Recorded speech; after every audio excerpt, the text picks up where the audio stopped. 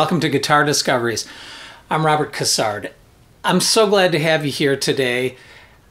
I rarely talk about sort of philosophy when it comes to music, but I think I need to do more of it because for people who are really trying to improve their playing, to really jump to the next level, sometimes it isn't a matter of practicing more scales or, or doing a lot of the things that we normally associate with technical excellence and, and becoming a great guitarist. Sometimes it comes down to a simple matter of focus. And so I want to share with you today two questions that I've learned to ask myself before I play any guitar solo. Stick around.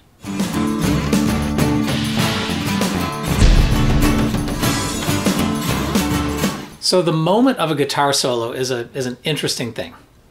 If you're playing live, it comes along, you got to play the solo and it's done. Whatever happened happened, right?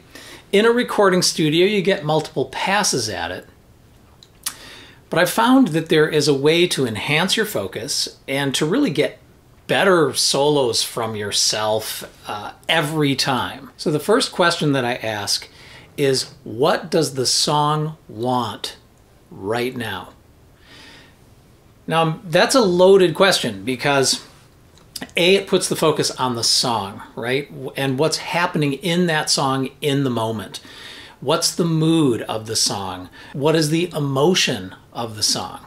What will further the effect it's going to have on the listeners? So that question does a couple of things. One, because it says, what does the song need right now? It anchors you into the present moment. That's really important. You got to be here now.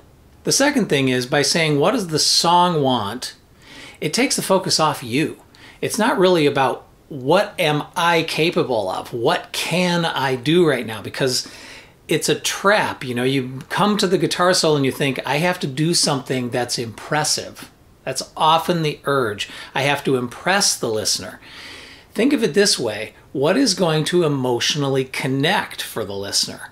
So, you know, there's an ongoing controversy, for example, about Neil Young. Is Neil Young a great lead guitarist or a lousy lead guitarist? you know, it really doesn't matter what your opinion uh, is on that, but what I can tell you is that Neil Young is kind of the epitome of someone who plays for the emotion, not for the technique. Now, you may not want to go that far, one note solo, but you might want to say, I don't need to do fancy pyrotechnics here to make the point. Sometimes simplicity carries the song and the emotion of the listener much farther. So, what does the song need right now?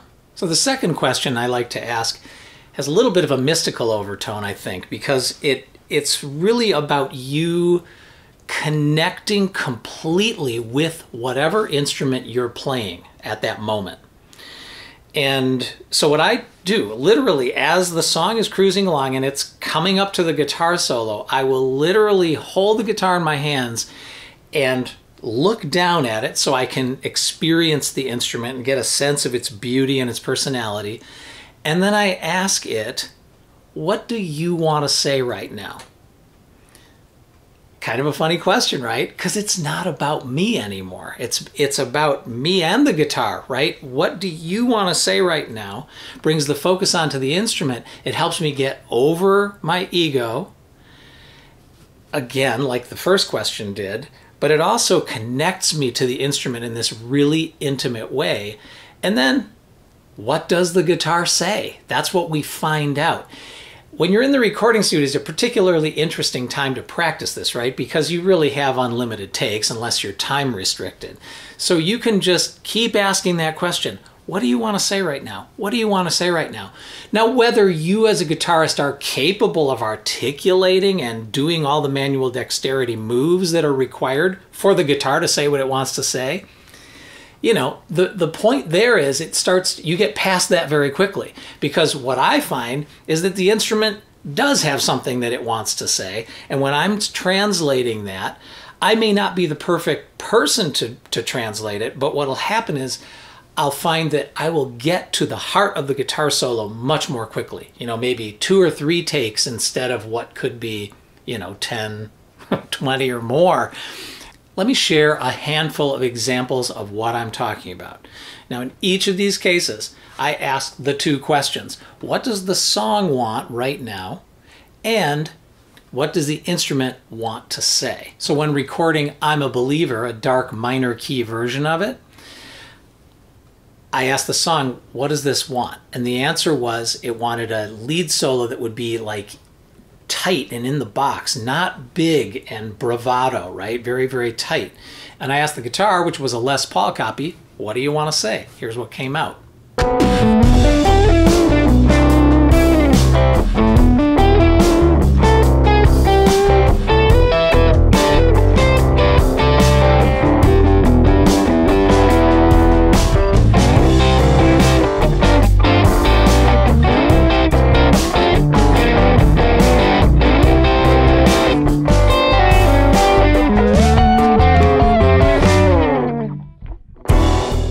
Recording Say You Love Me, which is a song that has a lot of refrains that say falling, falling, falling.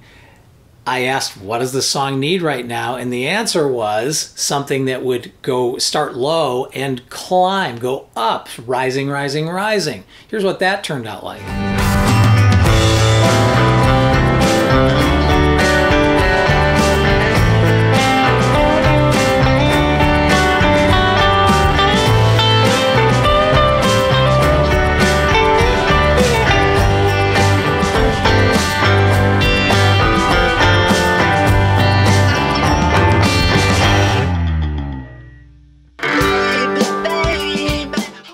Recording a very clean, beautiful, and open version of Tougher Than the Rest by Springsteen, same thing happened. I was like, well, what does the song need right now? The answer was it needed something that would capture the pain and heartache that the song is all about. And then when I asked the guitar, what do you want to say right now? Here's what it told me. Honey,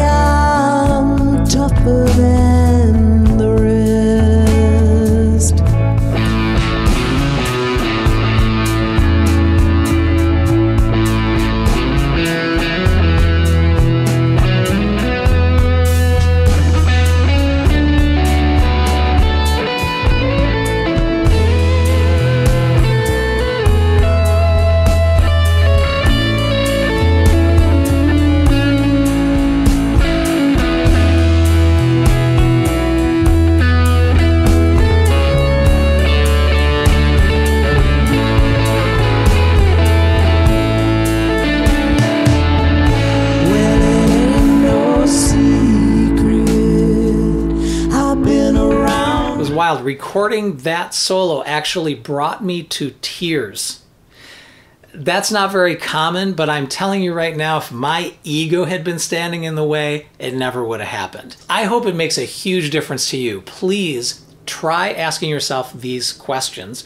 Do it when you're recording in your studio and do it when you're playing live and tell me, come back, leave a comment and tell me what the results are for you.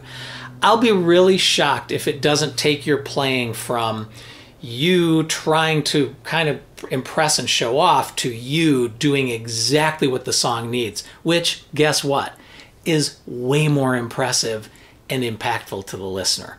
That's how you blow the audience away, not by just flying up and down the key, uh, up and down the fretboard to me it feels like magic when I ask those questions. Things come out of the guitar and out of my hands that don't really seem possible. They're things that move me.